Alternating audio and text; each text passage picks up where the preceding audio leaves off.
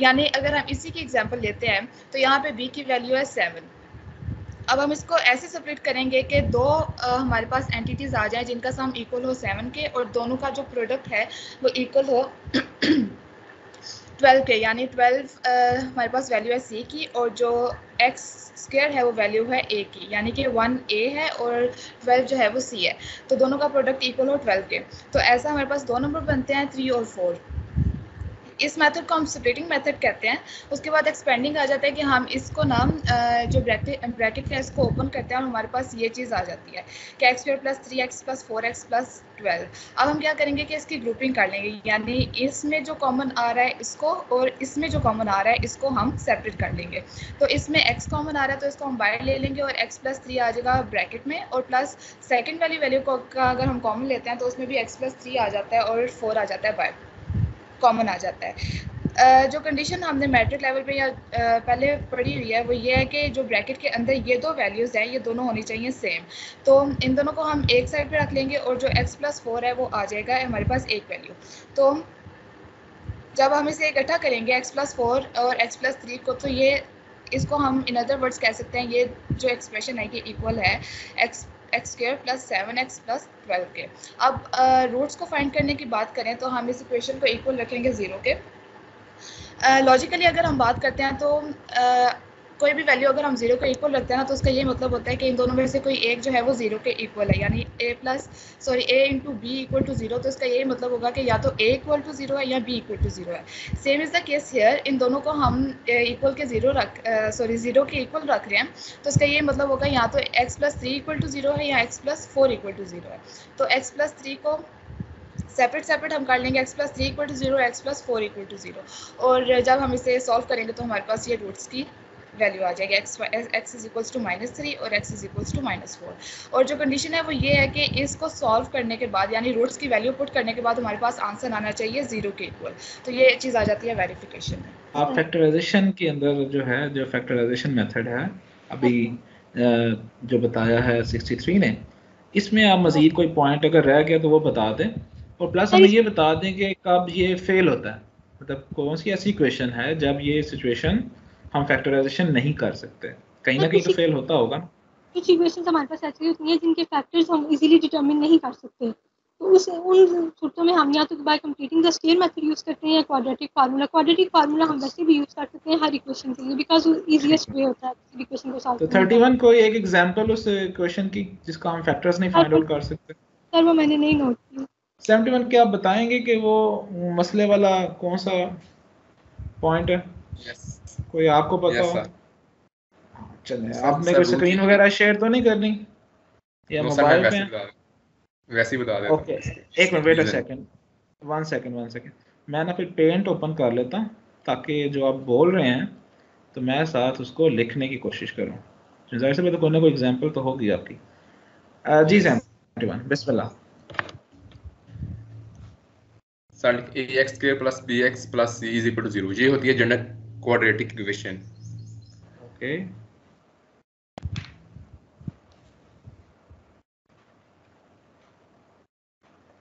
ठीक है आप आगे बोलते जाए। यस इनमें जो ए बी एंड सी होते हैं वो होती है रियल नंबर्स जबकि a is not equal to zero इसे हम कहते हैं ये क्वाड्रेटिक इक्वेशन की जनरल कंडीशन है। ठीक है। और जो फैक्टराइजेशन के लिए है हम उसको ए से सी से मल्टीप्लाई करते हैं और जो आंसर आता है हम उसका फैक्टर बनाते हैं। लेकिन उनके लिए ज़रूरी होता है कि जो हम सम या डिफरेंस सब्ट्रैक्ट करें तो जो बी की वैल्यू वो बी की वैल्यू के बराबर होना चाहिए। तब वो एप्लीकेबल है ये रूल फैक्टराइजेशन का रूल तब एप्लीकेबल है।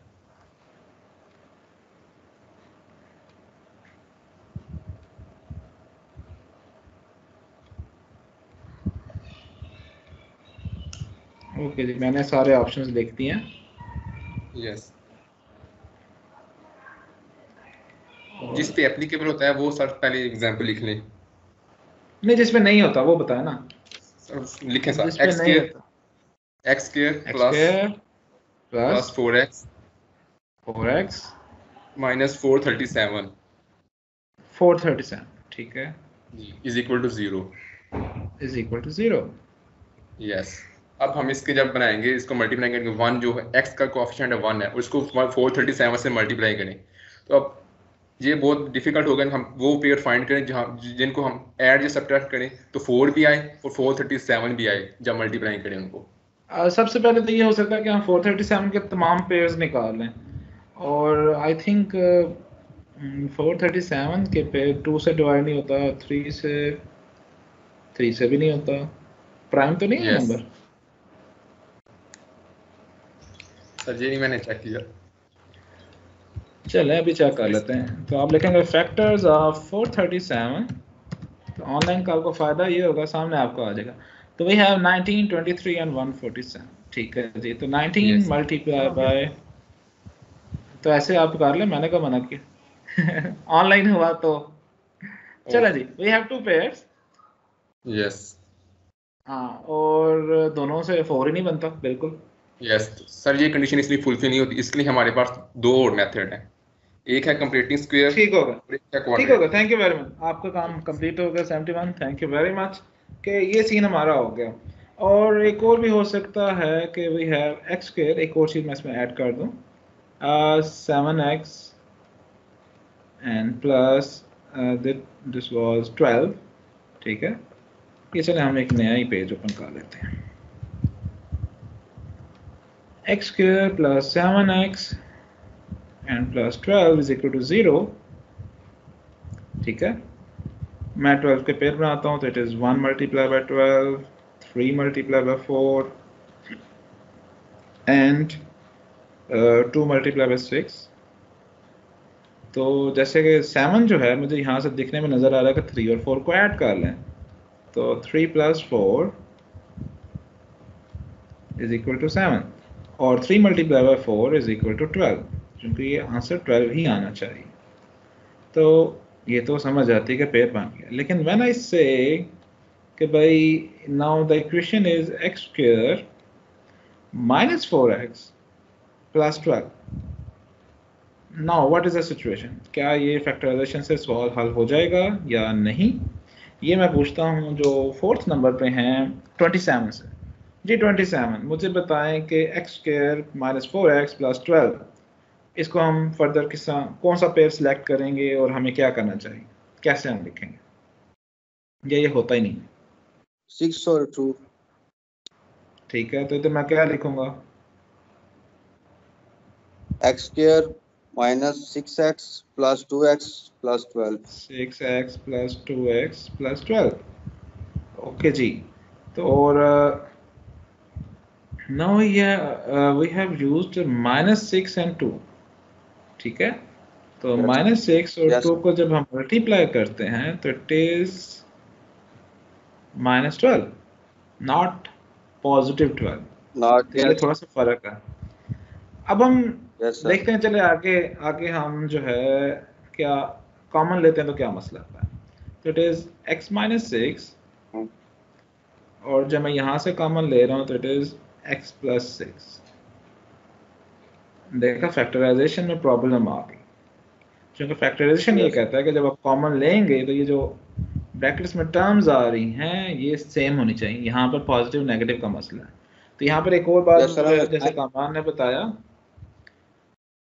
कि बेशक आपके पास का पेयरिंग बन जाती है लेकिन पेयरिंग के साथ जो साइन है इसका भी ध्यान रखना। अगर तो माइनस सिक्स और माइनस टू होता then it is positive twelve then it is fine लेकिन अगर एक नेगेटिव है और एक पॉजिटिव है तो फिर गड़बड़ है। वो तो फिर माइनस ट्वेल्व बन रहा जैसे यहाँ. पर से लेट से मैं यहाँ पर लिख देता एट तो then we can use minus six and minus two चूँकि प्रोडक्ट भी पॉजिटिव बन रही है और शेयर तो आठ ही बन रहा है। और यहाँ पर जब हम इधर से माइनस कॉमन लेंगे तो हमारे पास आंसर आ जाना था एक्स माइनस सिक्स तो this is the thing x minus six and x minus two ये वाला पॉइंट्स आपको क्लियर हो गया? क्योंकि ये मेरे ख्याल से थोड़ा सा आप लोगों को ट्रबल करना था, जैसे कि एक बच्चे को थोड़ा सा हुआ। तो चले, उसकी वजह से बाकी सारी क्लास को क्लियर हो गया। तो एक तो चीज़ है कि पॉसिबिलिटी नहीं बनती, और एक ये चीज़ है, बात का पॉजिटिव और नेगेटिव से पॉसिबिलिटी बन जाती है। लेकिन जो हमारा नेट रिज़ल्ट है ना प्रोडक्ट वाला, वो वाली कंडीशन मैच नहीं करती है, जिसकी वजह से इशू आता तो चले जी, ये तो हो गया हमारा फैक्टराइजेशन रोल नंबर इलेवन क्या कंप्लीटिंग द स्क्वायर आपने तैयार किया कोई? Roll number eleven yes sir किया कंप्लीटिंग स्केयर में बेसिकली हमारे पास इक्वेशंस दो तरह की आ जाती हैं। एक वो इक्वेशन होती है जिसमें हमारे पास एक्स के साथ कोई कोफिशिएंट प्रेजेंट होता है। तो अगर तो हमारे पास कोई कोफिशिएंट प्रेजेंट होता है एक्स स्केयर के साथ तो सबसे पहले हमने उस कोफिशिएंट को रिमूव करना होता है हमें वहाँ पे वन चाहिए होता है। फिर ही हमारा स्केयर जो है वो कंप्लीट हो सकता है। तो इन केस हमारे पास यहाँ पे अगर ये वाला एक्स केयर हम देखते हैं तो इसके साथ अगर कोई कोफिशिएंट है तो हमने पहले उसे रिमूव करना है, वो कैसे करना है, वो दो तरीकों से किया जा सकता है। एक तो ये होता है कि आप जो है वो उस कोफिशिएंट को कॉमन ले लें और बाद में दूसरी तरफ़ जो इज़ इक्वल टू के दूसरी साइड पे ज़ीरो है, उसके साथ डिवाइड करें और वो ख़त्म हो जाए। और दूसरा तरीका ये होता है कि आप उस कोफिशिएंट को सारी इक्वेशन के साथ ही डिवाइड करें तो उस तरीके से भी ख़त्म किया जा सकता है। तो अगर तो कोफिशेंट प्रेजेंट होता है तो फिर हमारा पहला स्टेप जो है वो कोफिशेंट खत्म करने का होता है। लेकिन अगर ये वाला क्वेश्चन देखा जाए तो इस मैक्स के के साथ कोई कोफिशेंट प्रेजेंट नहीं है। तो इसके लिए सबसे पहले जो हमारे पास स्टेप होगा, वो ये होगा कि हमारे पास जो कांस्टेंट टर्म है यहाँ पे माइनस एट नाइन्टी नाइन इसको हम इज़ इक्वल टू के दूसरी साइड पे मूव करेंगे। अब हमने इसको दूसरी साइड पे मूव कर लिया। अब सेकंड स्टेप हमारे पास क्या है? हमारे पास जो ये टर्म होगी एक्स वाली इसका जो कोफिशेंट है, उसको हमने हाफ़ उसका लेना होता है। जो भी हमारे पास वैल्यू आती है लाइक इधर टू था। इधर हमारा साइन नहीं मैटर करता, इधर माइनस है या वो प्लस है।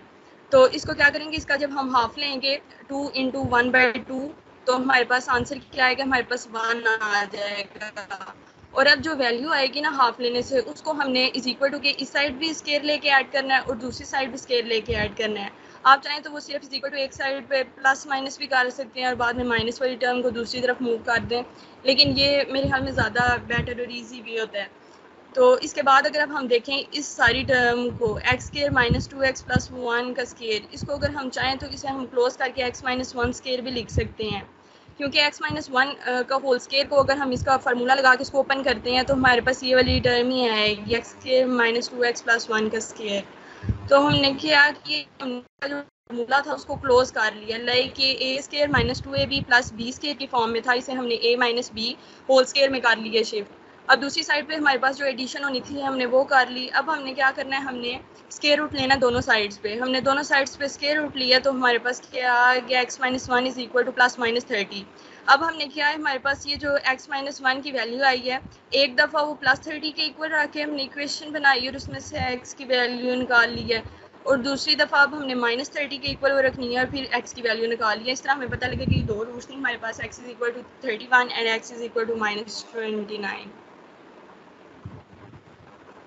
good thank you very much next हम चलते हैं 87 के पास.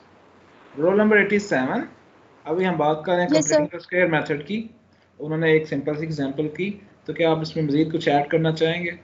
मैंने एक इक्वेशन ली two x square plus twelve x minus one ten basically अगर हम लोगों ने कंप्लीटिंग स्क्वायर सॉर्ट आउट करना हो तो उसके लिए ये होता है कि हम लोगों को जो लीडिंग कोएफिशिएंट होता है लीडिंग कोएफिशिएंट क्वाड्रेटिक इक्वेशन में एक्स टू आएगा उसकी वैल्यू हम लोगों ने वन ही रखनी होती है। तो फिर हम क्या करते हैं कि लीडिंग कोएफिशिएंट के साथ जो भी वैल्यू हो उसको आ, मतलब सारी इक्वेशन के साथ डिवाइड कर देते हैं। सिमिलरली यहाँ टू था तो हम लोगों ने टू के साथ डिवाइड कर लिया।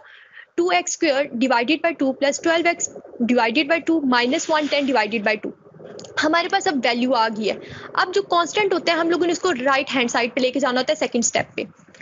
यहाँ b की वैल्यू सिक्स एक्स है। हम लोगों ने बेसिकली क्या करना होता है कि b के साथ जो भी वैल्यू होती है, उसको टू के साथ डिवाइड कर देना होता है। जैसे कि मैंने एक साइड पे लाइन लगा के सॉल्व किया हुआ है सिक्स बाई टू थ्री आ गया।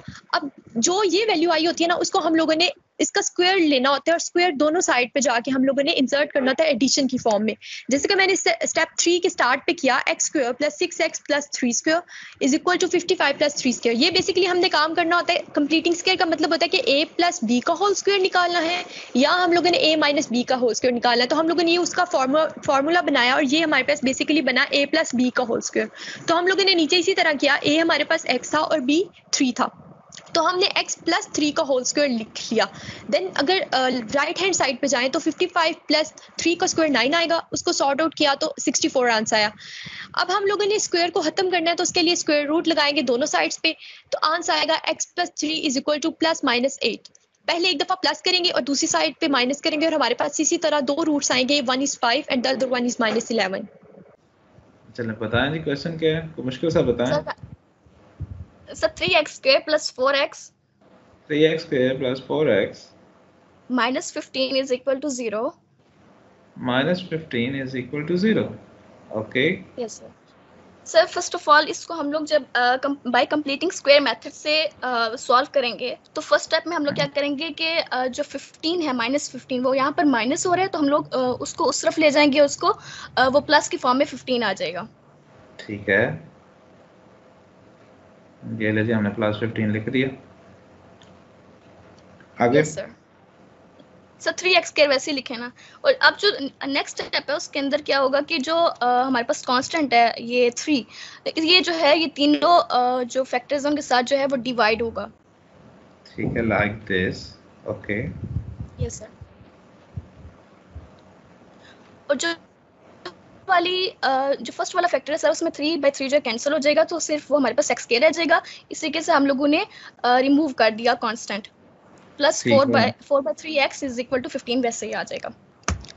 अब जो नेक्स्ट स्टेप है उसमें हम लोग क्या करेंगे कि फोर बाई थ्री को हाफ़ के साथ मल्टीप्लाई uh, करेंगे। सर वो बेशक आप साइड पे कर लें। हाफ़ से मल्टीप्लाई अच्छा टू से डिवाइड कर लें या हाफ़ से मल्टीप्लाई कर लें एक ही बात है। Yes sir yes sir okay अच्छा ये तो वही तरीका हुआ जो ऊपर वाले ने आई थिंक जो प्रीवियस स्टूडेंट ने बताया।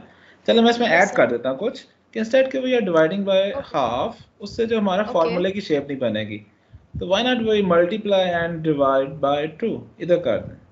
ठीक है सर ठीक है इससे फार्मूले की शेप तो फिर भी बन सर फिर भी बन जाएगी फार्मूले की शेप नहीं उस क्योंकि जब हम लोग हमारे पास जो आंसर आएगा फोर बाय थ्री को जब हम लोग हाफ़ से मल्टीप्लाई करेंगे हमारे पास आंसर आ जाएगा टू बाय थ्री और टू बाय थ्री का जब हम लोग होल का स्केयर लेंगे तो वो फिर फार्मूले की शेप बन जाएगी हमारे पास। ना हाँ, मैं हम लोग इसको सर तोड़ के भी तो लिख सकते हैं ना four by three sir four by three four by three x को हम लोग तोड़ के भी तो लिख सकते हैं ना।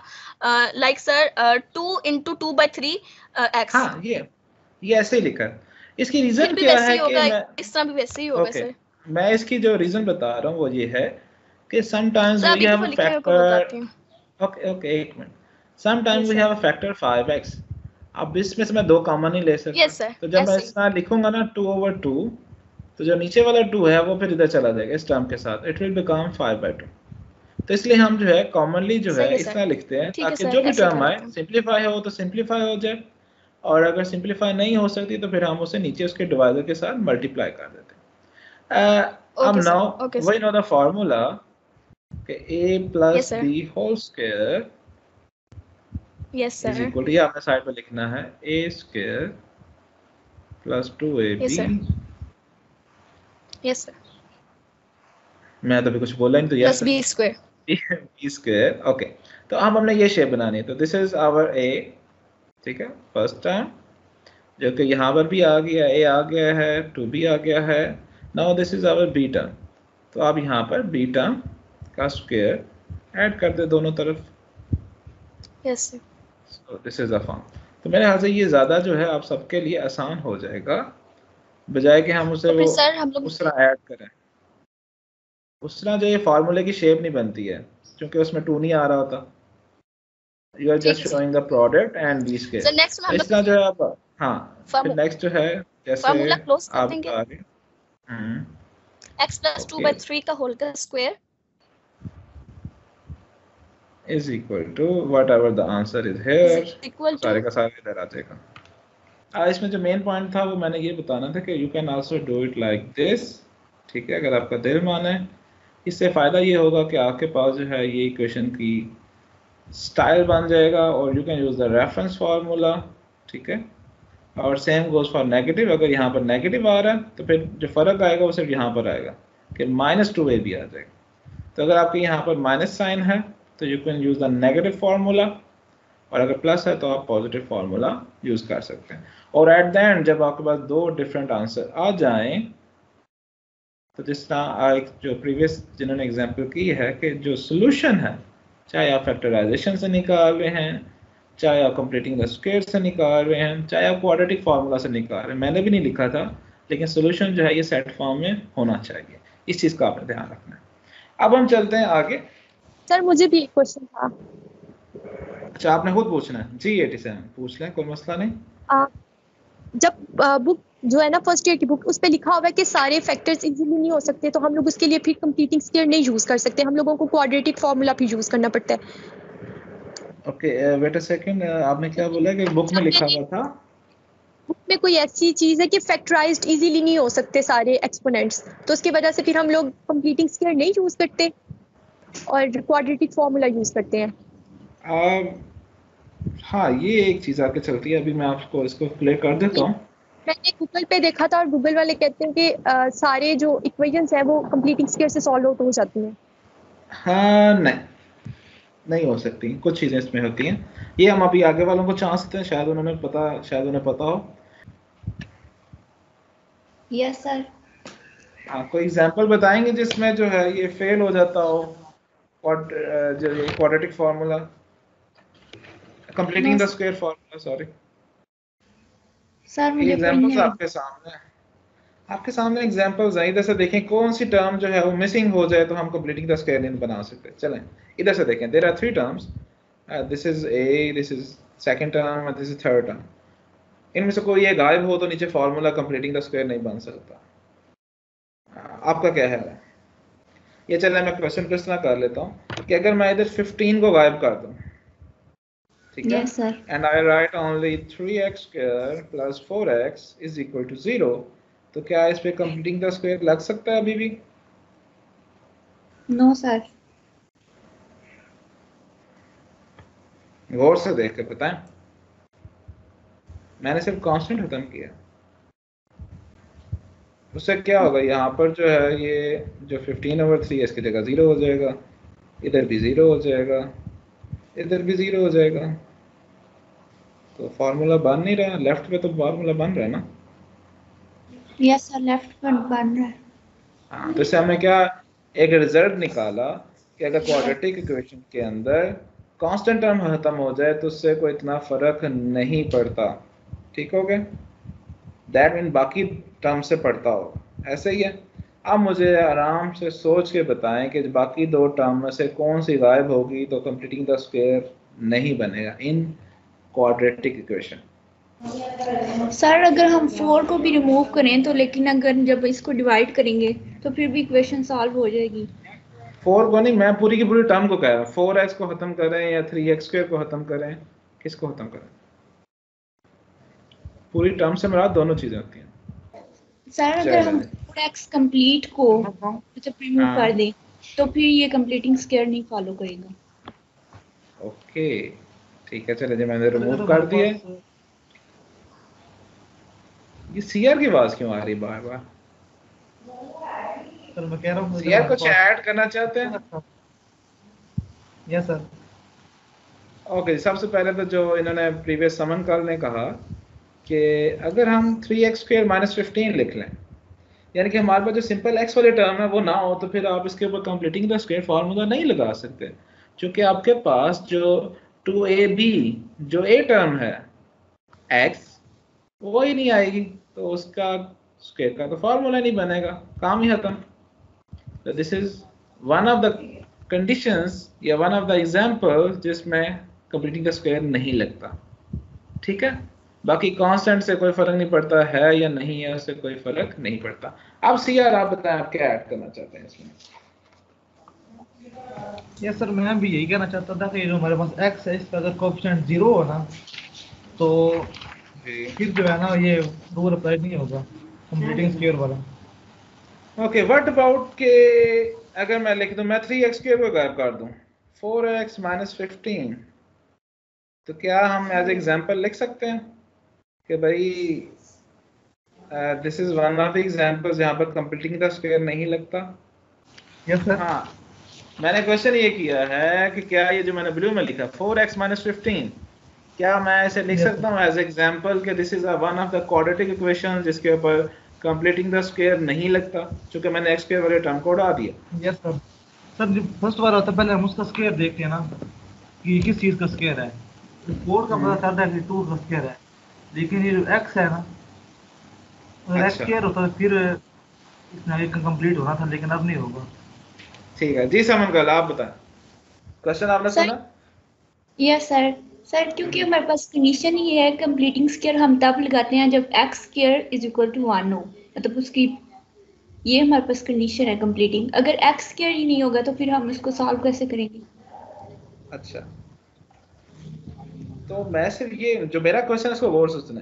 क्या हम इसको एज एग्जांपल लिख सकते हैं कि this is one of the example of quadratic equations जिस पे कंप्लीटिंग द स्क्वायर नहीं लगता just like the red one जिसका पहले एग्जांपल दिया।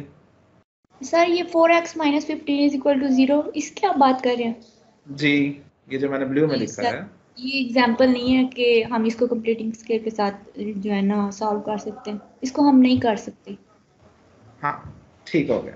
लेकिन यहाँ पर एक और बात भी है कि जब क्वेश्चन ये हो कि what are write the question या write the quadratic equations on which we cannot apply the uh, completing the square method तो फिर हमारा आंसर सिर्फ़ यही होगा 3x स्क्वायर वाला। क्योंकि 4x x minus fifteen is not a quadratic equation जब क्वाड्रेटिक इक्वेशन नहीं है तो फिर तो कंप्लीटिंग स्क्वायर लगाने का तो क्यों नहीं बनती? क्योंकि हमने पढ़ा हुआ है कि वाली पोलिनोमियल सेकंड ऑर्डर की होती है या वाली इक्वेशन क्वाड्रेटिक इक्वेशन होती है जिसमें x की पावर टू अपीयर हो रहा हो इक्वेशन के अंदर। यानी कि जब यहाँ पर स्क्वायर होता now I can call it it is a quadratic equation जब यहाँ पर स्क्वायर नहीं है तो this is a linear equation तो मैक्सिमम पावर वाली टर्म होनी चाहिए। 4x खत्म हो सकता है वो कोई मसला नहीं है। मैं लिख सकता हूँ कि जी x square plus zero x plus seven तो ये क्वाड्रेटिक इक्वेशन है चूँकि एक्स स्क्र यहाँ पर मौजूद है। एक्स टर्म खत्म हो सकती है। तो ये चीज़ काइंडली ये गलती नहीं करनी है आप लोगों ने कि अगर कोई क्वेश्चन इस तरह आ जाएगा जी को ऐसे एग्जांपल्स लिखें जिसके बाद कंप्लीटिंग द स्क्वायर नहीं लगता। क्वाड्रेटिक एग्जांपल्स तो ये क्वाड्रेटिक है ही नहीं तो it is it can not be written as a quadratic example हमारे पास सिर्फ़ वही एग्जांपल्स देखेंगे जिनमें सेंटर वाला एक्स मिसिंग होता। क्लियर हो गया? यस सबको? चलें गुड हो गया